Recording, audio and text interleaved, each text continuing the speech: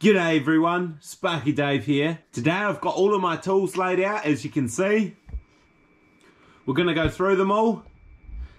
This is sort of an update video to my last tools video. By no means is this a complete tool set. Every year I'm adding things to it, so there will be new items every time I do one of these videos. But this is a complete electrician's toolkit this is all the tools that you'll need to be out on your own. Now, as I was laying these tools out, I realised I'm missing two things. One of them is my jigsaw. That's gone missing. Um, also is my lockout kit, um, which is quite essential. But I have found a couple of lockout things that I can show you in lieu of the lockout kit. Uh, the lockout kit has padlocks and other safety features in it that you will need to isolate a system. Right, so first one here is our D-sized nitrogen bottle. This here is for pressure testing pipe work. You can also use it for brazing. These bottles will set you back about 450 bucks. This is an owned bottle, not a lease. For the aircon gear, my aircon stuff goes in this Irwin tool bag. Can hold all the gear well and I never have it closed because it doesn't close when it's got all the gear in it. Round here, as you saw in my last video, is my Fat Max bag. Now these ones here, this is my second bag and they do fall apart too easily. And then in here I've got a redundant tool belt that I use to holster my tools that aren't on my main tool belt. Hopefully by the next video I will have buckets I'm looking at getting the bucket tool tote systems and buying a few of those for my equipment for different areas of the trade. Anyway, moving back to it. This here is MAPP gas. So this is the stuff you want to use for brazing. I use it for a lot of my heat shrinking too. Next thing on the ground here is a mitre box. There's a really cheap one. I've had it for many years and it's lasted. Uh, this one here is ideal for cutting trunking and capping into the right shapes at the same angles so you can connect the gear together and it matches perfectly. Next piece of equipment here are going to be the bending springs. I am missing one of the sizes, 5 16ths. So this one here is your smallest one, which is quarter inch, 3 eighths, half, 5 eighths, and 3 quarters. These bending springs go over your refrigeration pipe and then you can flex and bend them easily without them losing their shape and getting kinks. So these are really, really handy to have. Two adjustable crescents. I've got a 10 inch and a 12 inch. These are perfect for getting nuts off, undoing the pipe work that's pre-existing, things like that. I've got a steel rule here. I'll keep it in its casing just to protect the writing on it. G-clamp here, decent size one. This just helps hold things together when you're working on them. Down the back here, this here is my two-stage vacuum pump. It's uh, 142 litres per minute, uh, Mastercool brand. It's one of the better quality vacuum pumps out there. I wouldn't go for anything less than 142 litres a minute or you'll be sitting there all day. Next thing is this Mastercool nitrogen regulator. So this end here screws onto the nitrogen bottle over there and then this port on the side goes into your where your manifold is. You want to get one with an input of about 4400 psi. The best place to get these regulators for air conditioning is from your wholesalers not from the companies that sell your bottles or you may end up with the wrong one. Next thing over here is a plumb bob that there uses gravity to create a level. This one here is brand new. I've never used it. Potentially if an outdoor unit's up on top of a building might be using this to help run the cap capping straight down. Next thing over by the vacuum pump here some vacuum pump oil. Always handy to have spare oil for your pump. And here I've got the uh, squirty end and a paper towel to wipe up any excess oil. Never use this on the carpet. The other thing you want this oil for is to do your flared ends. So once you've flared them, you can chuck a bit of oil on them and then chuck the nut on. This here is just an adapter from the nitrogen rig. This blue stuff is leak detector. This is just like soapy water. You spray it over any connection or joint in your pipe work. And when you're pressure testing with the nitrogen, it's going to blow bubbles if it detects a leak. This here is coil cleaner to use for helping clean heat pumps. Further over here, this here is my eccentric flaring tool. The Mastercool ones are one of the better ones out there. Uh, these ones here also have a built-in clutch, so you know when it's tight enough and you can unwind it. And that's just your clamp you put it on the right pipe size there from quarter up to three quarters. And then in this box here, I keep all types of end caps for pipes. So if I ever need them out in the field, I can just fire them on. I know where they're kept. They're always in that case. There's spare room in it, so why not? Here we've got some emery cloth. This is used when you're brazing, so you can create a rough surface so the braze will stick to it better. And I've got here a wet cloth that I always soak in water when I'm doing brazing just to cool the joint down before manipulating it and working with it. These here are Silphos. So again, this is for brazing, superheat pipe work up that you want brazing, then add this to it and it melts into it like solder. Down the back there, this lovely set is a pipe expander tool. It's a Black Max one. So this is for 5 16ths. You screw one of these onto it. Pipe goes on here and what you do is you squeeze it round, rotate it a bit, squeeze it again and you make perfect. This one here, Black Max brand, does it absolutely perfectly on point every time. So you don't need to edge off a wee bit. You can actually do the full crimp on it. Roll of duct tape. That is for just taping the insulation back over your pipes where you've separated them for whatever reason. Deburring tool can do outside of pipe work or the internals any size. These work perfect and leave no scratches on the inside of the copper so there is no chance of getting leaks in the future.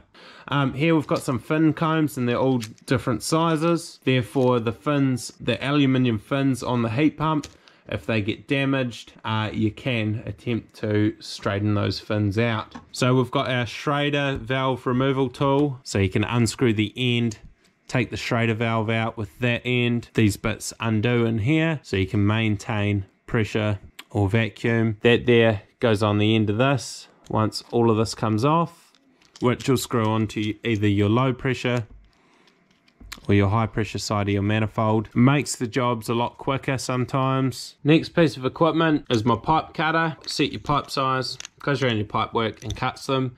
Bahco cutting tools are pretty bloody good. Next thing I got here is my manifold. This one here is R32 R410A. It's Mastercool. I've got a service access port on here so I can throw my micron gauge on this end. Uh, that way it's on the load side of this uh, when I'm vacuuming down the system. And this here is my micron gauge. Need to run a digital micron gauge with a vacuum pump. This here will tell you if all the moisture has been evacuated from the system. They are quite expensive. This Bluevac Plus one, it's not the Pro one, I want the Pro, but this one here was around $400 I think. Always keep my Bluevac one in this wee pouch.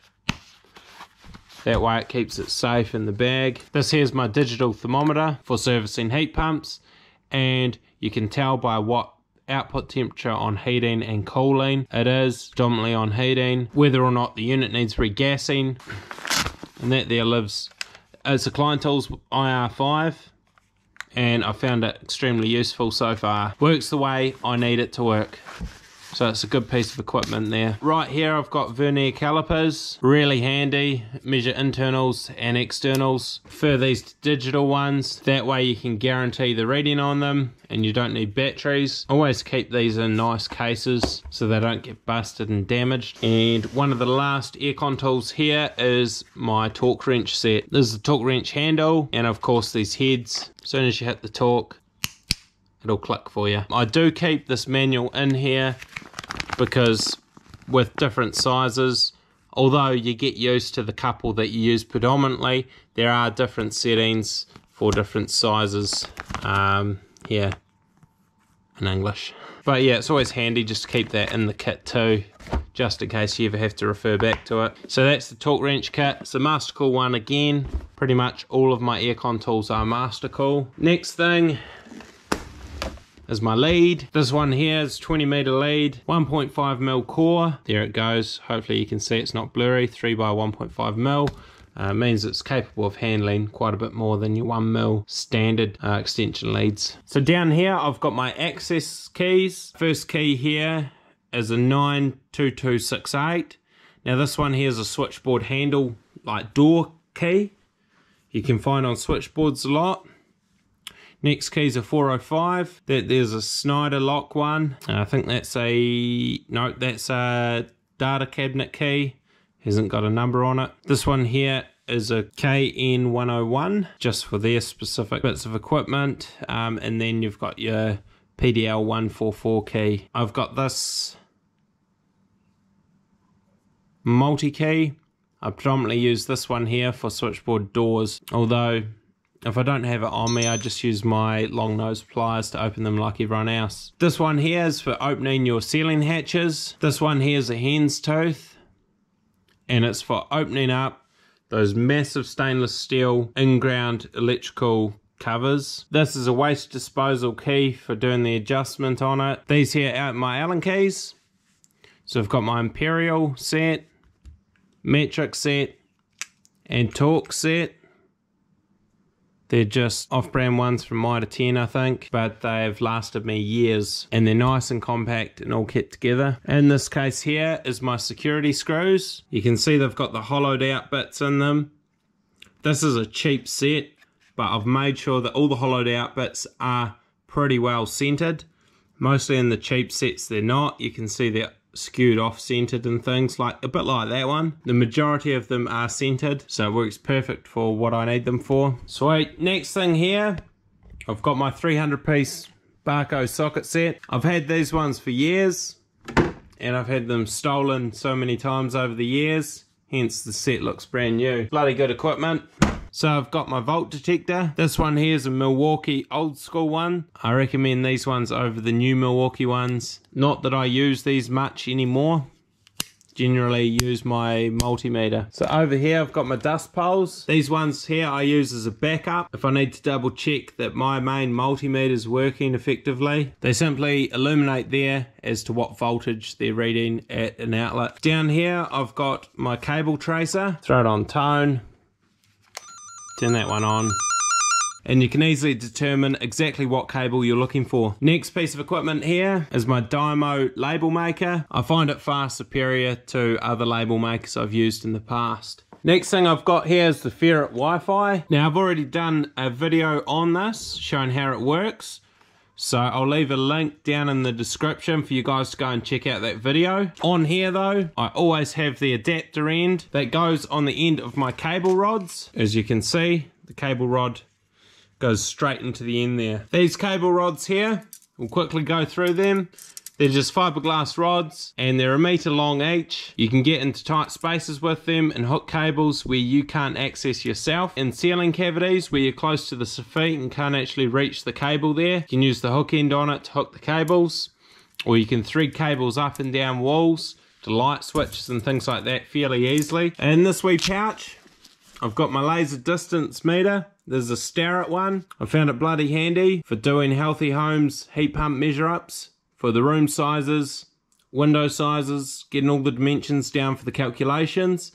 I've also used it to where there's a two person job for measuring out downlights. This one here is 172 mil in length. I should probably put a sticker on the back of it for calculation purposes. Next tool here is a stud finder. I've owned this one for about 10 years and I can count on my fingers how many times I've actually used it. Here I've got a Klein Tools circuit breaker finder. Use this on live circuit so you plug one end the transmitter into the wall, go back to the switchboard and this will identify what circuit that's plugged into. I've had about a 50-50 success rate with it. Also this one here is prone to getting bumped and ends up wasting the batteries. I'm sure they would have redesigned these by now. Over here, I've got Klein Tools Laser Level. Now, I think this one's the best one on the market. It's got your cross lines in green, and then it's got your up dot and your down dot. So you can center this for doing downlights perfectly. Uh, also, it's got this wall mount for it. So you can run that up really high on high walls and mount it on the wall. It's got magnets on it, so easily sticks there. Down in this corner, I've got all of my power tools, so I'll go through them one by one. I've got a Bosch heat gun down the back there. That one there's a 230 volt. I use that for doing heat shrinks in areas where you shouldn't put much heat into the area around sensitive equipment, things like that. So that's the heat gun I was talking about fairly old one now. I've also got an off-brand jigsaw. It's perfect for cutting in to switchboard covers, switchboards, and also bench tops. The only alternative to it is using the multi-tool, which isn't as accurate. This here's the multi-tool I was talking about. So the blade on here oscillates when you power it on. Easy quick release system. So you can pull the lever back there and it will just release the blade. So you can pivot the blade or replace it with a different type. And put it in, simply clip it back in like that. Skill saw, easily cuts timber for all sorts of mounting applications. Here's my Makita torch. You want to get the ones with the massive LED array on the front face of them. It is like a portable sun, especially when you take up into a roof space or underfloor, or if you're working at night. This one here is my reciprocating saw. It's got a good blade on the end of it. This here you can get into tight spots and cut thick timber with it. Over here I've got a drill handle and I should have a, another handle for the grinder somewhere. That there's the grinder. It's got the guard on it. Usually throw a handle on it there. Um, the disc here is worn down quite a bit, probably needs replaced. As you can see, the difference in size after using it for a bit. Cutting steel, and that's my spare grinding disc. This one here is a sanding disc, so I have to take the guard off to run that one. Taking the paint off for earthing, or roughing up edges for certain things. Down here I've got my three Makita batteries. I do need to buy a couple more. Yeah, I don't have enough of these. Makita charger, I'll probably be upgrading this one to a dual charger at some stage. I've got my site radio. This one here is perfect for doing commercial or residential pre-wires or even rewires if the customer's not home. It doesn't have Bluetooth. It's one of the older site radios. Probably upgrade that one at some stage. Now this one here you don't see many electricians with. It's a planer. I've used it twice now. Once for taking the thickness off timber where I needed to get a bit of timber in next to a switchboard. And then also I've used it for leveling um, an in-ground box, which was perfect for taking thickness off the timber there. So these planers can come really handy, but you wouldn't get much use out of them. So you probably can't justify buying one for most tradesmen out there, but they do have a good practical purpose in the trade. Over here is my hammer drill. This one here, I always leave my 6mm bit in it. I've had no problems with this one. Makita drill. Now my last video I had two drills. I've gotten rid of both of them. Upsized to one decent drill. Uh, this one's a DHP 481. It does everything I need it to do. Gets in the tight spaces, but also it's got so much power, it just blasts through everything. Perfect for doing pre-wires. You need a couple of full batteries to do it. Uh, over here, I've got my impact driver. This one always has a square bit in the end of it lives like that and that there's just for doing screws up over here I've got my Makita vacuum and this is an amazing piece of kit customers always happy when you vacuum up make the place tidy it only takes a couple of minutes. The site looks so much tidier than just using a shovel and brush. So this here's my Megger multifunction tester. If you haven't seen my most recent uh, switchboard testing video, go and watch that. I'll leave the link in the description as well. That video there, I go through most of the functions on it, show you how to test a complete installation. Down here is also some polarity testing gear that I created. Um, that is in that video too. This stuff here just lives in the Megger case with the multifunction tester. And then up here is my 100 meter trailing lead, which is perfect for commercial, heavy commercial, industrial and um, residential, especially in doing COVs and testing new installations. This handy trailing lead's got a wee auxiliary stake attached to it. Just a quick demonstration. I've plugged the end into my multimeter and we've got continuity. These trailing leads are really handy. They are the EFO ones. They do come in 50 or 100 meters. 100 meter ones are quite a bit more expensive, but you're paying for the amount of cable on it. Over here is my electrical safety equipment. So first of all, I've got my hazard board. That there's for doing jobs. You're going to be there for more than a couple of days. And then also your hazard sign you have for most jobs. Down here, some disposable gloves. Nice white ones in there. Some mix of blue ones too. When you're installing downlights onto freshly painted ceilings, you don't want to leave your fingerprints behind. So it's always a good idea to wear some nice clean gloves. I've got some spare batteries here. Now just check my 9 volt ones in the tool I used before. But I do carry a couple 9 volts. These ones here are triple A's and these are double A's so that whatever equipment I'm testing with, I've always got spare batteries. In this pile here, vis, disposable overalls if you're working around asbestos, for that matter. I've got my dust mask with asbestos rated filters on it. I will need to go and purchase new ones of those. They look a bit worn. I think I've had them for over three months now. I've got some overalls there and of course a drop sheet. Further down here, safety goggles. Now I hardly wear those. I would wear them if I was drilling steel directly above me. So there's no chance of getting any into my eyes. But other than that, there's no other reason I personally use those for. I use safety glasses a lot. They're my standard safety glasses. Gloves, wear gloves to dirty work, hot work, brazing, things like that. Earmuffs, these are pretty new ones. Shout out to Huani. Always go with the best earmuffs you can. Can't compromise your hearing. Down here, as I said, I was missing my lockout system. So I've got some tags here that I found out of service, do not operate ones, circuit breaker lockouts. So they screw onto the top of circuit breakers when they're in the off position and they lock them in the off position so no one can unintentionally turn the circuit on. I like having padlocks on me because it also ensures people can't really intentionally turn them on unless they bolt cut them off. I've got here disposable dust masks, use those for crawling around in ceilings with. Over here's my hard hat. Always check manufacturing date on them. So that this one was made 2021 and the first month, so January 2021. I believe you've got two years on these. Shovel and brush, sweeping up after yourself, and that's about it for the safety gear. I've got these Hippo wipes, uh, same as Wonder Wipes, just clean your hands up with them. Cleans off unwanted solvents and things. Yeah, decent, decent wipes. Sweet, so the next thing we'll go through is the solvents. Here's my caulking gun and I've got some clear silicon in it, translucent stuff. I also carry around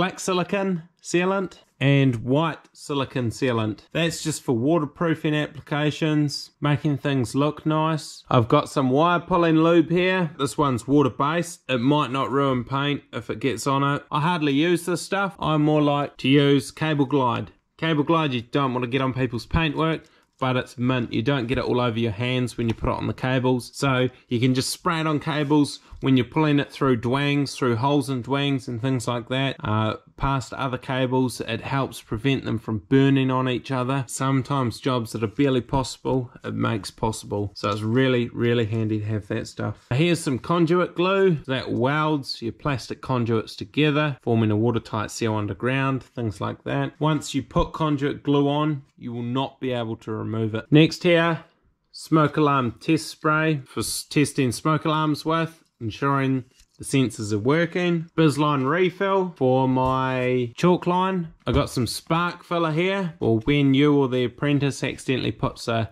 hole in a wall, or ceiling where it's not meant to be. Cover it up with this stuff as long as it's a tiny, tiny hole. Appliance white spray paint. This here, if you get a scratch, mark, or want to make an appliance look nice, you can touch it up with a wee bit of appliance white. Dazzle, when pre-wiring a house, you can quickly spray this mark the floor on the concrete exactly where your flush boxes are on the walls so you don't lose them. Shaving foam, I spray this around all asbestos work I'm cutting with any type of hole saw or drilling with a drill bit on top of using protective gear. Silicon spray, it's got a lot of water resistant properties to it. Good for using on rubber seals, electrical equipment, things like that. We've got some super strong bonding sealant, kind of like liquid nails, bond stuff together. I've got Fiacryl. This is fire rated sealant for switchboards and going through fireproof membranes. Got some refill for my gas torch butane refill, contact cleaner, using on circuit boards, things like that.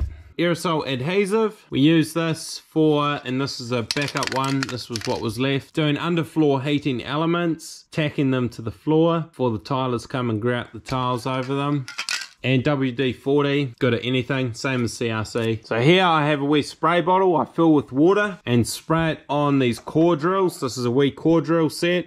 It was cheap as, 25 bucks for the whole set and it's bloody good quality. The bits in it I've only used for aircon, but you can see it goes from 33 to 73. There's four bits in it. Not very big, but it's done what I need it to do so far. Next thing I have here is electrical tape. I only use red electrical tape these days. The red stuff, you can actually write on it in permanent marker. Plus, it looks like a warning label color. So when you put it over white cables or any other kind of cables, people see red and they immediately think it's danger. Duct tape. This used for all ducting, HRV systems, range hood ducting, bathroom fans. The 3M stuff is the best quality stuff. Down here, I've got various sizes of hole saws. Carbide tip ones for going through Safetes, and then general ones for going through timber or gypboard, sometimes steel. I got a 65mm carbide for heat pumps, not sure where that one's gone at the minute. All the smaller ones for conduit work or other things like that. This one here, 92 for 90mm downlights, 100mm or 105 for doing 100 mil applications, 152 for your 150 mil indoor things, 159 and that's your outdoor grills. This one here is a 160 mil hole saw and that one there's specifically for doing Vinco bathroom fan sets where the cutouts are a bit bigger than your standard 152 mil ones. And then I've also got this hole saw dust catcher and this one here works amazing. So you throw the hole saw on the inside of the dust catcher that collects all of the dust. Nothing escapes when you're making a hole. It gets rid of the need for drop sheets. So I highly recommend getting one of these. They're about 50 odd bucks. Next items here are my drill bits. I generally use spade bits. So I got different types of spade bits here.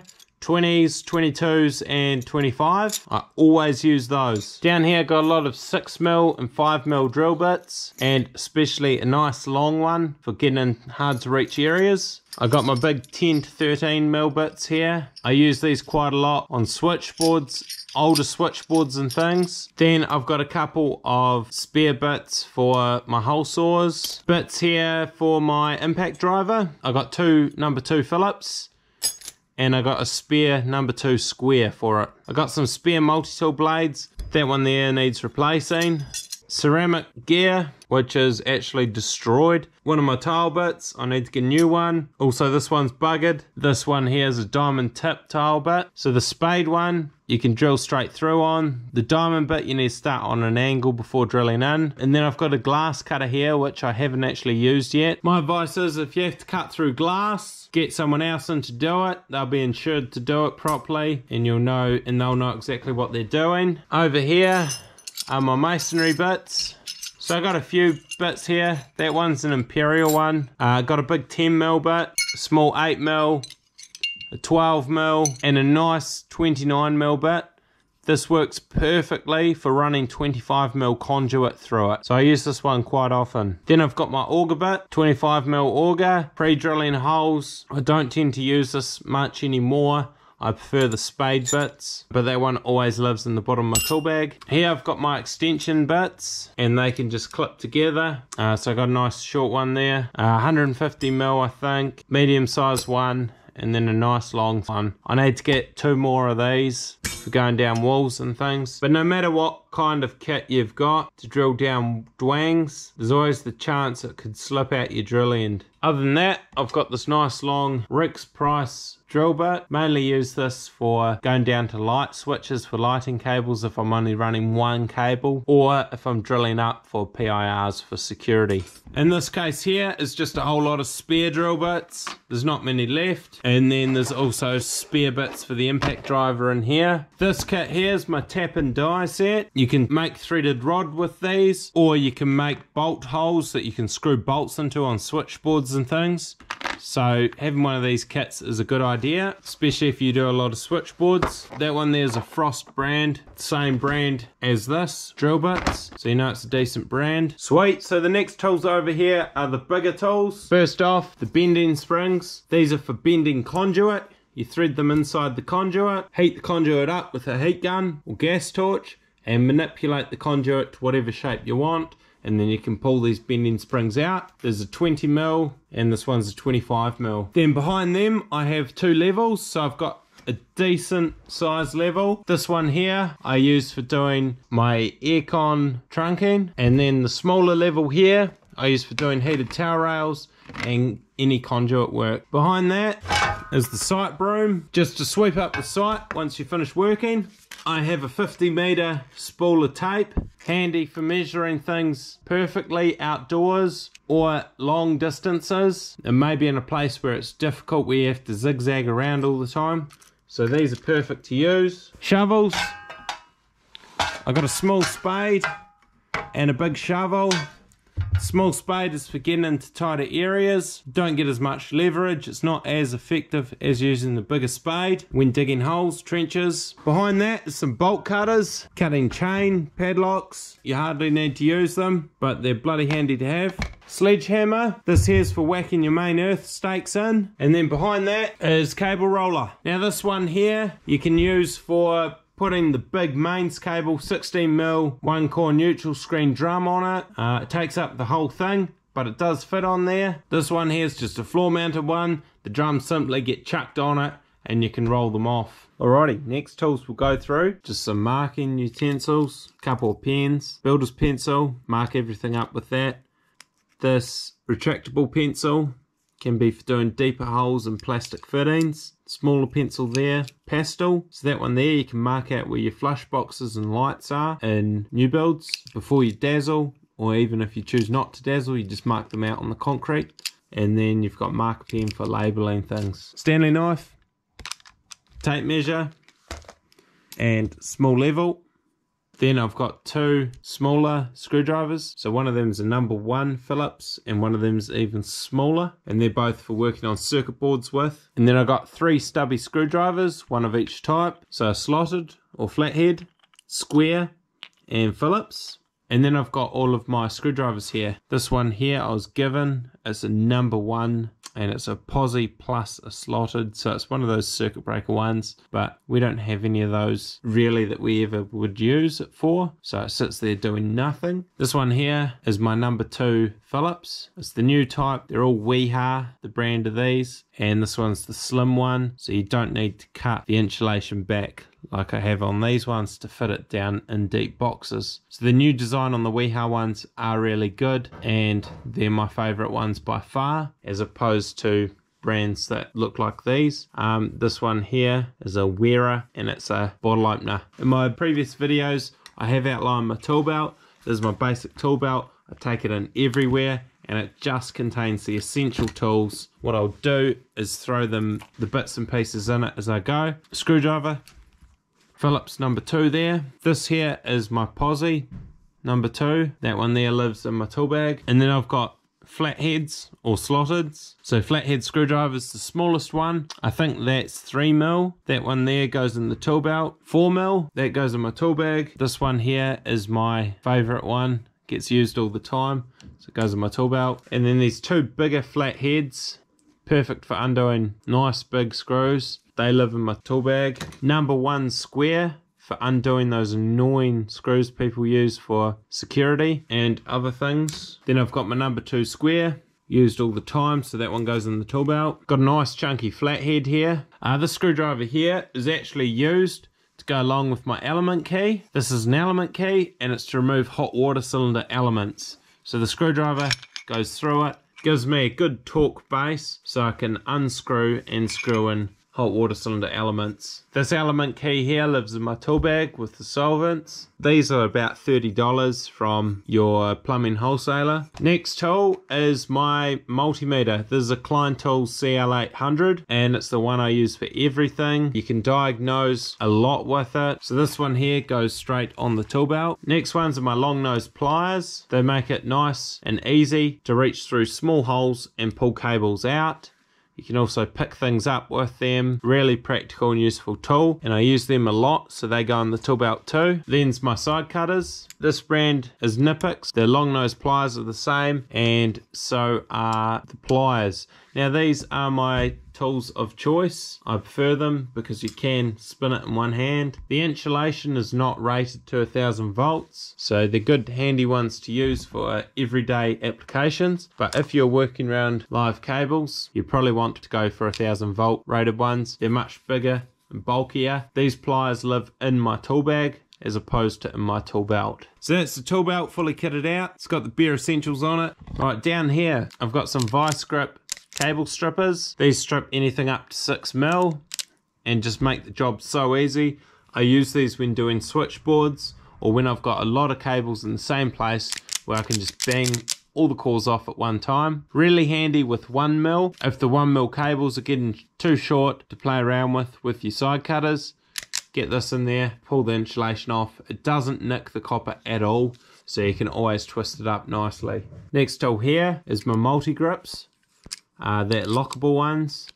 So you slide them to the desired size of the nut and then you can lock it shut and use them that way. Bloody good tool cable cutters. I generally cut 16 mils, neutral screens, things like that with them. Solid tool. Here I have my conduit cutters. Just cut conduit pipe with these, nothing else. This here is a swivel blade cable stripper. Pretty much pop that up, cable goes in there so you can cut around, rotate the blade and then cut straight. This here is a cable tie gun puts tension on the cable ties and cuts the ends off. Really good quality brand. This one's Eastwood, all steel. Right, down the back here, Crescents. This one here is my favourite. It's the Bahco one. The jaws open really wide, just over 30 mil, and it's a really small handle, so you can get into tight spaces. These are just an 8 inch and a 6 inch. Some graphite paste and a bit of hemp where you're pulling fixed plumbing appliances out, blocking them off so you can service them and then also some thread tape and the thread tape's also used for pressure fittings as well the rest of the stuff here is tv data electronics sort of tools and also my crimping gear down the back here i've got my pcb board holder it's a wee soldering setup they're relatively inexpensive this just holds your boards while you solder there is a wee light on it actually I don't use it. Soldering iron is a wee Dremel gas torch. Heats up nice and quick too, the wee gas ones. I've got some solder and some copper desoldering wick. So this here removes the solder. Heatsink compound, use a lot for thermostats and appliances. That's about it, but it does have many other applications. We paintbrush here just to dust things off. Toolkit here, now this one here has got little micro bits in it, all for electronics and getting access to small screws. The next thing is this digital TV finder. You plug on the end of an antenna and you can angle the antenna around until you find it'll light up with the strongest signal on the wee light display here. This is my cheap cable tester. You put one on one end of an ethernet cable, one on the other end of the installation and just test to ensure that you've got the right terminals hooked up. This is my Ethernet Cat 6 crimper and then this one here is my special Cat 6A crimper. They are constructed differently. The teeth bite down deeper on this one and this one here's got a different mechanism altogether for crimping. This one here is my compression crimper so at the moment I've got an F-type compression fitting on it for doing TV aerials. I have got spare ones here for RCA and BNC fittings and there's an IEC one there. Punch down tool for punching down the data wires and phone jacks and other data fittings. Coax stripper. So this one here you just use on your coax cables and it strips them off to the right sizes. Got a data cable stripper. This one here is adjustable to different sizes different types of data cables and this here is similar it's just a fixed wee one. This one will probably get taken out of my kit uh, I don't use it. The next items here are my crimpers. Here I've got a hex crimper which goes from 6 mil up to 50 mil. I've got a super lug crimper for the super lugs. I've got a Utilux crimper here for the Utilux crimp links and lugs. And then I've got a little bootlace or ferrule crimper, which does from 0, uh, 0.75 to 10 mil. And these crimpers here live in the bottom of my screw tray. I'll give you a quick rundown on the screw tray. I do have a video already of it, which I'll put the link down in the description. Spare leads for the multimeter, brand new ones. Always have a spare pair on you because you can just stuff them within a day. So this is my screw tray. In the bottom here is all my heat shrinks. Try and keep it as organized as possible. It does get pretty out of shape sometimes. Got some cable tie mounts in the bottom. Cat 6 fitting Ethernet ends. Cat 6A Ethernet ends. Bootlace ends. I keep one three-way splitter for aerials. Cable ties, black and white. And then a whole lot of squishies for phone connectors. The other thing I keep in the screw tray is some earth sleeving. The downside to this type of screw tray is they got plastic fittings in the ends here which snap quite easily so I'm going to replace them with steel bolts. The handles obviously not existent on it at the moment so I need to fix that but otherwise it keeps everything nicely organized and you can take these trays out really easily. This one here is a Tactix box. Other things I keep in here is fuse wire and rubbers erasers for rubbing out pencil marks on walls or other fingerprints and marks that you leave behind. You can actually rub them out with these. Make sure it's not a plastic one. The plastic ones just smear and smudge. So yeah, if you want to go through all the rest of it, go and check out the other video. It goes through every compartment in here and tells you exactly what each thing is for. Down the back here, I've got my hose bit of water still in it. Uh, this one here isn't your typical 10 mil garden hose. It's a lot thicker than that. It's probably about 16 or 20 mil. This one here is for draining hot water cylinders uh, in order to change the hot water cylinder element. And then over in the background there is a hot water pump. I don't use it very often at all anymore. It was more for when you've got a smaller hose to help pump down the hot water cylinder because it does take quite a lot of time but this hose halves the time anyway. If you do use a pump, you've got to make sure you've got enough air flowing back into the cylinder, otherwise you run the risk of it imploding. And now the final lot of tools, hammer, nail puller, like a mini crowbar, vice grips, these here for locking things together so you can cut them, drill them, whatever you're working on, hand rivet, throwing rivets in between sheets of metal. Tin snips for cutting metal, especially colour steel roofing and things where you're doing through roof kits. Chalk line here, blue one as it doesn't show through the paint when the ceiling's painted. This here is really for doing downlights and getting them all in a perfect row. Now that I've got a laser level, this might not be used as often as it used to be. Deburring tool, this one here is for everything that's not HVAC. Build a string line, making sure things are level. You can just use that however you want. Over here I've got my chisels, different sizes. That one there's stuff. I'll get rid of it probably sharpen it up. These are nice wood chisels, chiseling out timber. And then we've got a cold chisel over here for chiseling out masonry. Two files, this one here I use quite often, flat side, curved side, just use the flat side generally. Small file for filing down drilled holes two punches. These center punches, you can tap nails down beneath the paint line or plaster line. Hacksaw, cutting steel. Coping saw, cutting wood, and especially in fine places. It's also got some metal ones, but I haven't chucked them on it. And then a good hand saw, nice long sturdy one, cutting timber. Small builder's square here, getting perfect 90 degree angles on things. Nails, these are for new builds. Whack them in the corners and slit your cables on them. Just a normal rag. Use it for anything, wiping up crap. Down here I've got my head torch. My good ones actually I don't use on the tools. And then I've got this as the last thing is a wee suction cup. And this is for picking up glass tiles. I needed it to access some light bulbs. Uh, it's not something I generally carry around, but sometimes you can't lift glass tiles with anything else other than these.